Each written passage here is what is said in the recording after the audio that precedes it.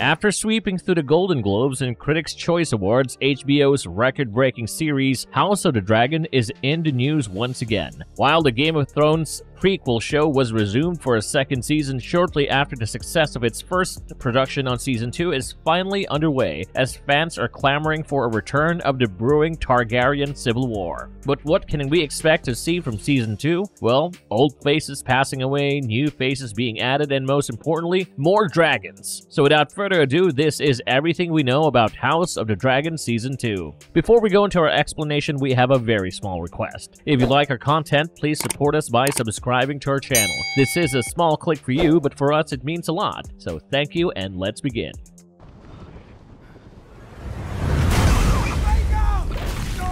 Where we left things in Season 1. House of the Dragon is one of the bolder ventures in modern television history because of how fast and loose it played with its timeline. Season 1 had a time skip in pretty much every episode, and a major one about halfway through where the show swapped out its young leading ladies with their older counterparts. But the overarching story wasn't harmed by all these moving parts in our eyes because it was clear from the first episode that war in Westeros was inevitable. House of the Dragon opens up with a scene of the delicate friendship between Rhaenyra and Alicent, and closest with its fiery destruction thanks in no small part due to their children's actions. In the final episode of Season 1, Alicent's son Aemond ends up killing Rhaenyra's son Lucerys, making a civil war between the two women and their respective sides of the family go from probable to inevitable. The final shot of House of the Dragon episode 10 showed Rhaenyra clutching her womb with soul-crushing sadness at news of Luke's death, before she turns around and has a look that screams Targaryen fire plastered across her face. We should expect Season 2 to pick up in the immediate aftermath of what transpired over Shipbreakers Bay, but that begs a different kind of question because how does HBO plan to proceed with the timeline from that point? Season 2 will have no time skips at all. In fact, you can pretty much kiss those narrative leaps goodbye as the show will focus solely on war from this point onward, and we're going to see a lot of old faces returning with a few new ones being added to the fray.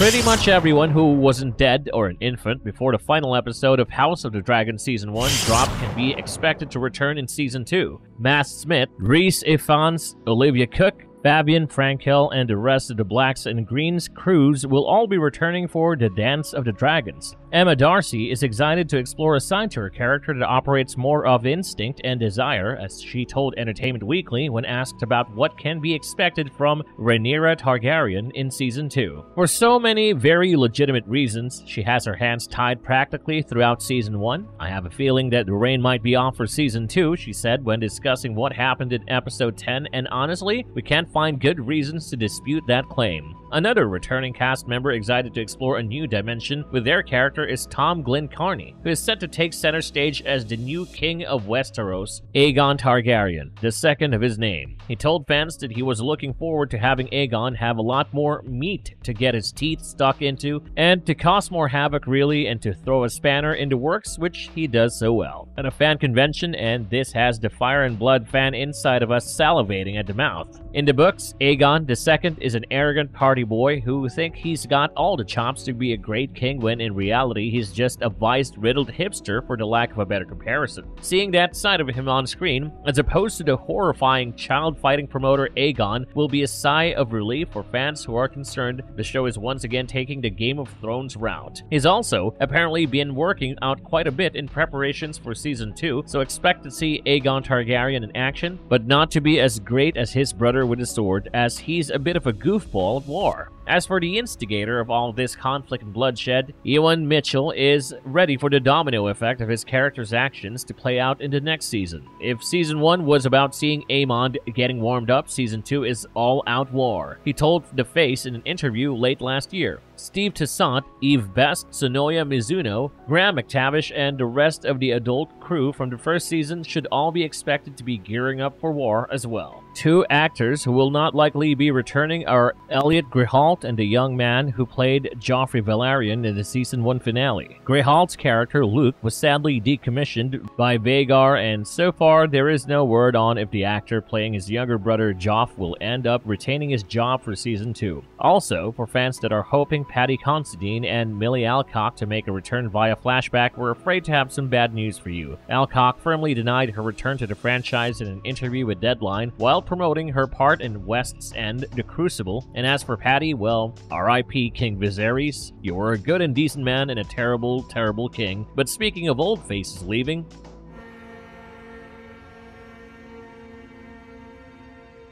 who will be joining the cast for House of the Dragon Season 2. While we are saying goodbye to a lot of our favorite faces from Season 1, looking at you, Harwin Strong, Season 2 is going to be replacing them fresh ones who will hopefully stick around for a bit longer. Showrunner Ryan Condal has said that we will see five new dragons in Season 2, and we can figure out the identities of those dragons that we can pretty much guess the characters that are gonna need casting. So far, we've seen nine dragons in Season 1, and one of them is already dead, along with its rider. If we're going to be seeing five new ones in Season 2, and the official tally for the number of dragons we're going to see in the show overall is 17, then that means around three dragons will be left to be introduced in Season 3 or later. This also softly confirms that the sowing of the dragon seeds will not take place in Season 2 as the number of wild dragons on Dragonstone and the number of dragons that will be left over to be CGI'd to life is identical. We're almost 100% sure that two of the five dragons of Season 2 will be Joffrey's Tyraxes and Baela's Moondancer. If Joff is indeed recasted to fit the narrative of the story, then Tyraxes showing up is inevitable, because both Dragon and Brighter play an important role in Rhaenyra's journey towards fire and blood. We already know that Baela Targaryen is a dragon rider, all we need is a glimpse of Moon Dancer to confirm it. Going off this line of logic, we should be getting the debut of a couple of dragon seeds at the very least in Season 2. And we should also finally get a glimpse at Alicent's bestest boy Daeron. Tessarion needs to be in the House of the Dragon, we don't care what you guys think about budgeting and structure and whatnot. The Blue Queen is one of the most visually striking dragons Martin has ever created, and there's no way that he doesn't get her into a series that is actually trying to stick to his books. That means that Prince Daeron will need to be casted for the show. And this is possible because we've speculated before that Daeron wasn't cut from the series. He was simply chilling at Old Town, which we are yet to see. And as for the Dragon Seeds, we could see Hugh Hammer and Ulf the White show up as early as the first episode. Before becoming Dragon Riders, they were Daemon's trusted warriors. That's part of the reason why they were selected for the sowing in the first place. Hugh and Ulf could show up during Daemon's assault on Harrenhal, which could be one of the scenes that opens up Season 2. And speaking of Harrenhal, a whole host of new faces will be casted for the many battles that the Dance of the Dragons will involve, starting with the Riverlands and the North. We're especially excited to see who plays this stingy young Lord of Winterfell, Cregan Stark, because Jace is set to create what is supposedly a strong friendship if the books are to be believed. Whether we actually visit the Eyrie in Season 2 remains to be seen because it's possible the Vale of Arryn plot from the books gets dropped entirely. But what is impossible to omit is the heinous acts of blood and cheese, and speculation as to who will play those characters is running rampant. Sara Hess, executive producer of the show, has confirmed that they've already planned the part where Daemon's cat's paws show up and flip the status quo on its head. And if rumors are to be believed, the Silence's Mark Stobbart has already been cast as Cheese.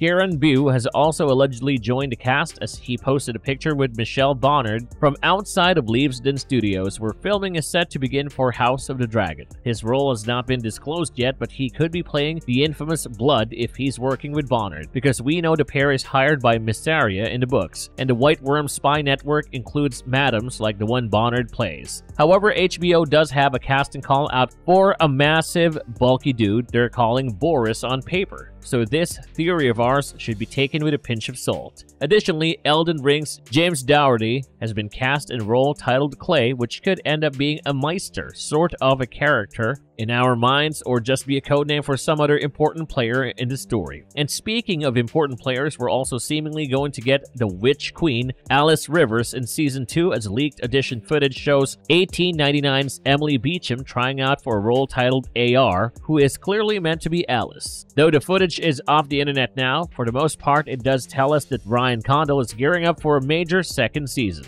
with a casting of three to four old Jaehaerys and Jaehaera also having been put out there. But with all this having been said about who we can expect to see in Season 2, the big question is when can we expect Season 2 itself to be out?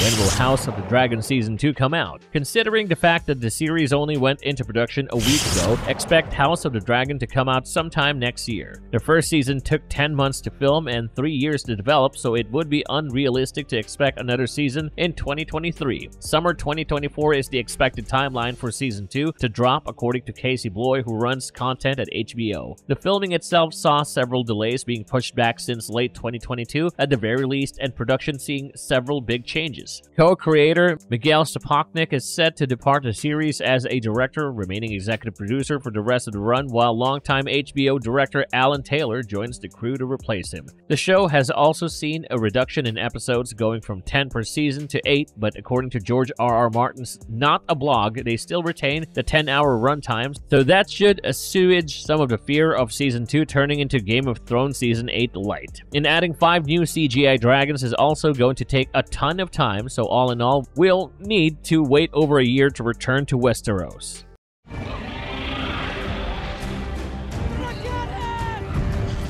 What to expect from Season 2 of House of the Dragon? Well, war, drama, and a lot of fire and blood. Season 2 will likely cover the first third of the Dance of the Dragons from the battle over Shipbreaker's Bay to the sack of Duskendale. We say this because apparently a huge battle was bumped over to Season 3 from Season 2, which we think is the Battle of Rook's Rest, as that takes place before the sowing, which is definitely not happening in Season 2. As for the timeline, it could be all over the place. Sara Hess was asked about Blood and Cheese's involvement in the story, and she replied by saying they were working on the finale and that people would not be disappointed. So you know, she might as well have said we're ending season 2 by killing Helaena's kids. It's possible that the story will deviate from the timeline laid down in the books because the immediate aftermath of Luke's death saw Daemon dispatch Blood and Cheese to exact revenge, eye for an eye style. House of the Dragon might want to let things breathe and shift around events by showing Aegon's first march or call to arms instead. There was chatter that season 2 would focus more on the green side of things, and Hess's comments about Daemon's popularity suggest that trouble is already brewing in the Black's paradise. Betrayal, death, fire and blood, these things seem to follow House Targaryen wherever they go, and the same will be true for House of the Dragon Season 2. But that's it for this video. How excited are you to return to Westeros and re-enter the spicy drama that is the Targaryen family's daily life? Let us know your thoughts in the comment section down below, and don't forget to like, share, and subscribe. We'll see you next time.